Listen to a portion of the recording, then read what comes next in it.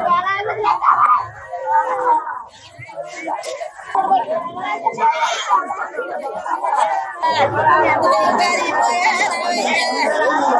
విశాఖలో విషాదకరమైన ఘటన చోటు చేసుకుంది. సాంప్రదాయ బోటులో వేటకు వెళ్ళినటువంటి ఆరుగురు మత్స్యకారులు గల్లంతై ఇరవై నాలుగు గంటలు గడిచినా కూడా ఎవరు పట్టించుకోవటం లేదు.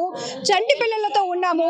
మా భర్తలు గల్లంతైపోయారు కనీసం కంప్లైంట్ ఇచ్చిన ఎవరు పట్టించుకోలేదంటూ బాధిత మత్స్యకారుల కుటుంబ సభ్యులంతా కూడా ఫిషరీస్ జేడి కార్యాలయం వద్దకు చేరుకున్నారు. గుండెలు అవిసెలా గుండెలు బాదుకుంటూ వాళ్ళ ఆవేదన వ్యక్తం చేస్తున్నారు. సుమన్ టీవీలో మీ పర్సనల్ అండ్ బిజినెస్ ప్రమోషన్స్ కోసం కింది నెంబర్కి కాంటాక్ట్ చేయండి. మా భర్త మునిగిపోయాడు. గల్లంతైంది. ఆచూకీ తెలియటం లేదు అన్నా కూడా ఇప్పటికీ ఎవరు రెస్పాండ్ కావటం లేదు అంటూ వీళ్ళు ఆవేదన వ్యక్తం చేస్తున్నారు. ప్రజెంట్ మనతో పాటు మత్స్యకార నాయకులు జనసేన పార్టీ నుంచి మూగి శ్రీనివాస్ గారు ఉన్నారు. ఆయనతో కూడా మాట్లాడదాం. శ్రీనివాస్ గారు ఏమైంది? వీళ్ళు ఆరుగురు కూడా ఎన్ని గంటలకు నిన్న వెళ్ళడం జరిగింది? సో నిన్నటి నుంచి సెర్చ్ ఆపరేషన్ ఏమి మొదలు కాలేదా? ఇది పూర్తిగా ఆంధ్రప్రదేశ్ ప్రభుత్వం తాలూకా వైఫల్యం. ఫిషరీస్ డిపార్ట్మెంట్ తాలూకా వైఫల్యం. స్థానికంగా నిన్నటి నుంచి వీళ్ళు ఆ లబోదిబం అని చెప్తుంటే ఇప్పుడు మేము వచ్చిన తర్వాత తప్ప వీళ్ళకి అఫీషియల్గా ఎక్నాలజ్మెంట్ కూడా ఇవ్వలేదంటే వీళ్ళకి ఏం బాధ్యత ఉన్నట్టు? ప్రాణాలు పోయిన తర్వాత ప్రాణాలు ఎవడకు కావాలి? బతుకున్నప్పుడే వాడిని తీసుకురావాలి. ఎక్కడో? ఏంటంటారు అదేదో ఆ ఆడుకోవడానికి కోట్ల రూపాయలు ఖర్చు పెడతారు. ఎవరో ఒక లవరు ప్రేమించుకుని ఆత్మహత్య చేసుకుంటూ పరిగెడతారు. అలాంటిది నిజంగా ప్రాణాలు పోయారు. ప్రభుత్వానికి ఇంత బాధ్యత లేకుండా ఉండడం అంటే ఇది చాలా పూర్తిగా వైఫల్యం. ఇక్కడ స్థానికంగా ఉన్నటువంటి ఎమ్మెల్యే కూడా పూర్తిగా వైఫల్యం చెందడం చెప్పాలి. ఆంధ్రప్రదేశ్ ప్రభుత్వం తక్షణమే దీని మీద స్పందించాలి. ముఖ్యమంత్రి గారు మీకు ఎన్ని పనులు ఉన్నా సరే ఆరుగురు ప్రాణాలంటే ఆ వెనకాల ఆరు కుటుంబాలు ఉన్నాయి. వీళ్ళందరూ కూడా చాలా చిన్న పిల్లలు చాలా వయసులో ఉన్న వాళ్ళు వీళ్ళకి ఎవరు దిక్కు? వీళ్ళకి ఇమీడియట్గా పంపించుకోవాలి.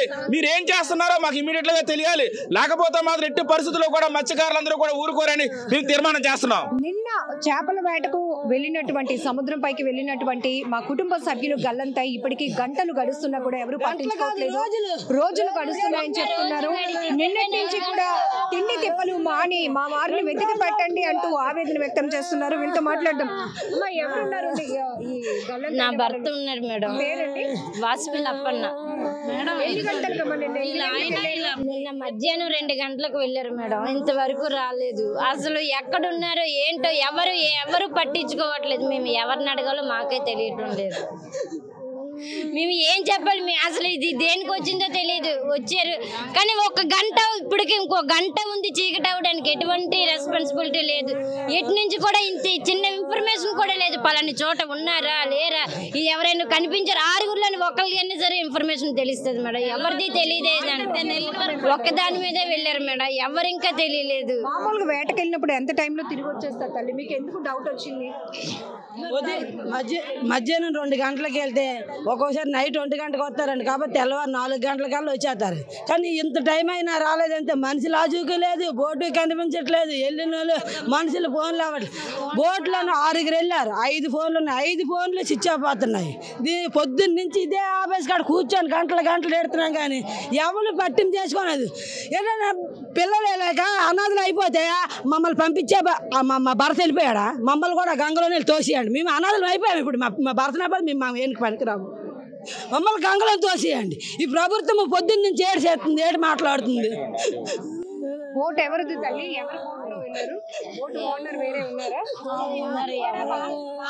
మాదమ్మా. మాదే బోటు. మా ఆయన ఉన్నాడు మా అబ్బాయి ఉన్నాడు ఇద్దరు ఉన్నారు. ఇంట్లోనే ఇద్దరు మేడం. ఇప్పటికీ రాలేదు మేడం. ఇప్పటికీ మా బాధలు ఉన్నాయి మేడం. నిన్న మధ్యాహ్నం వెళ్ళిపోయాను. ఇప్పటికి ఎలా మేడం? మేము ఎలా బతకాలా? ఎలా చేయాలి? మా ఎత్త పేషెంట్ మంచి. మా ఎత్తకి నాలుగు ఐదు వేలు మందులు ఉండాలి. ఎవరు చూస్తారు మేడం? మా ఎత్తకి ఎవరు చూస్తారు ఆ, వంద యాభై ఎవరు వస్తారు మాకెవరు మా మనాథులు అయిపోయాం ఇప్పుడే. మా మామ ఇప్పుడు ఎలా వస్తాడు మేడం. సత్తి సత్తి సత్తి కారు సత్తి కంప్లైంట్ ఇచ్చినా పట్టం చేసుకోలేదు మేడం. బయటకు వెళ్ళిపోమన్నా పట్టించుకోలేదు మత్స్యకారులు అంతే ప్రాణాలు అంతే. ఓ చేపలు అయిపోయాయి. చంద్రాట్లో చేపలు అయిపోయాయి. మా మత్స్యకారుల ప్రాణాలు. అంతేనా? ఎవరో ఒళ్ళు కొవ్వెక్కి చంద్రాట్లు ములిగిన వాళ్ళకి ఫైల్ అన్ని తిప్పుతారు. గాలి అవి. ఏంటి? ఒళ్ళు కొవ్వెక్కి ములుగుతారు కదా. వాళ్ళకి తిప్పుతారు. మా కస్టమర్ కొడుకు కోతకి ఏంటి మాకు తిప్పరు కడుపు కోతకి వెళ్తున్నారు చంద్రాట్లోకి వాళ్ళకి తిప్పరు నీటిలో చేపలు అయిపోయాయి మా మొగలు పేనాలు ఏంటి రాష్ట్రానికి ఏంటి చేపల వేట సముద్రం మీద అంటే దినదిన మేడం. వెళ్తే వస్తారో రారో తెలియదు భగవంతుడి మీద భారం పెట్టుకొని వెళ్తారు. వెళ్ళకపోతే జరగదు. వెళ్తే ఈ పరిస్థితి. వీళ్ళ ఇంట్లో ఇద్దరు తండ్రి కొడుకు ఇద్దరు.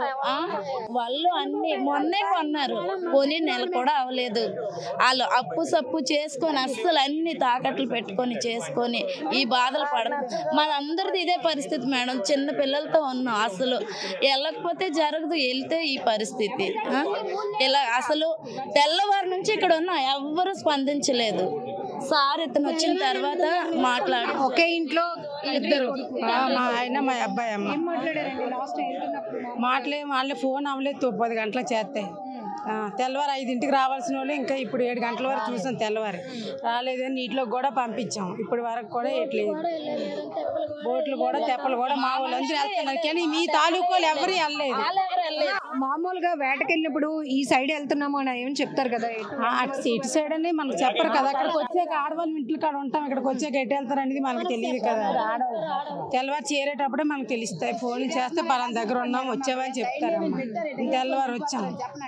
నిన్న ఒంటి గంటకి వెళ్ళారు ఇంటికి ఇంక ఇప్పటికి రాలేదు. చిన్న అబ్బాయి. చిన్న అబ్బాయి. పద్దెనిమిది సంవత్సరాలు. పద్దెనిమిది సంవత్సరాల అబ్బాయి? వాళ్ళ పెద్ద అబ్బాయి వెళ్తాడు. వాళ్ళ పెద్ద అబ్బాయి వెళ్ళలేదు చదువుకున్న అబ్బాయి వెళ్ళాడు. ఇంటర్ సెకండ్ చేతను చిన్నబాబు. అన్నయ్యకి బాగాలేదని అలా అంతా వెళ్ళాడు.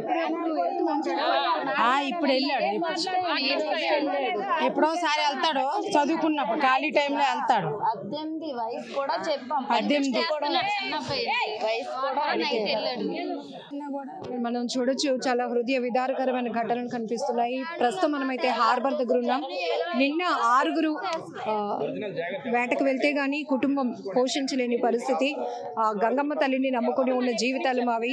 ఎప్పట్లాగే నిన్న కూడా వేటకు వెళ్ళి తిరిగి వచ్చేస్తారు అనుకున్న వాళ్ళు. రెండు రోజులు గడుస్తున్నా కూడా ఇప్పటికీ కూడా కనీసం ఆచూకీ తెలియలేదు ఫోన్లు అవ్వటం లేదు. నిన్నటి నుంచి తిండి తిప్పలు మాని ఇక్కడ మేము పడిగాపులు. ఆరుగురు అంటే ఎట్టకరమా మనుషులు కాదా?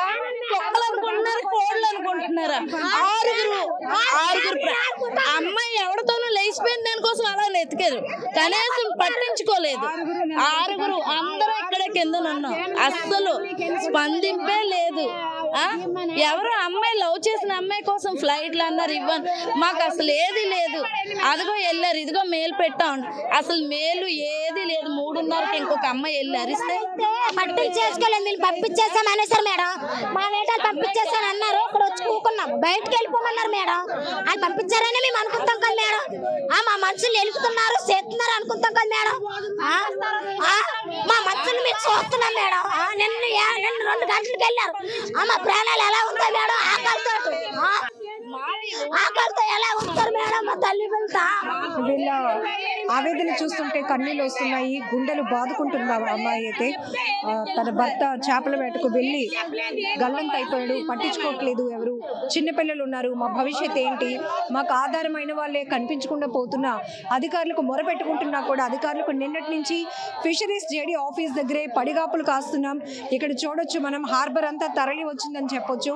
గల్లంతైన ఆరుగురు కుటుంబ సభ్యులతో పాటు ఎవరైతే గల్లంతైనటువంటి ఆ వ్యక్తుల యొక్క కుటుంబ సభ్యులు వాళ్ళ భార్యల గుండె రోదన వింటే చాలా భయమేస్తుంది బాధేస్తుంది.